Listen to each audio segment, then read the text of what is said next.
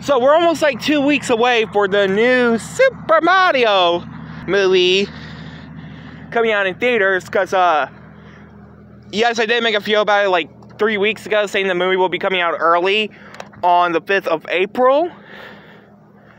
And and characters who I really want to see in this movie. So there is a rumor that we're getting Luma, you know, the blue, the little star from Rosalina's uh, side, from Princess Rosalina's side, from Super Mario Galaxy. Uh, speaking of Princess Rosalina, I would love to see her in the movie.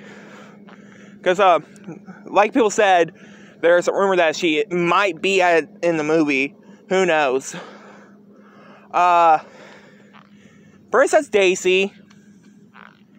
Maybe Bowser Jr., because there is a rumor that someone made last week that uh, Bowser Jr. could be in the movie somehow, some way. Or, anywho, but, uh, yeah.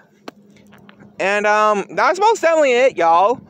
But anyway, I hope you guys like, comment, subscribe, and, uh,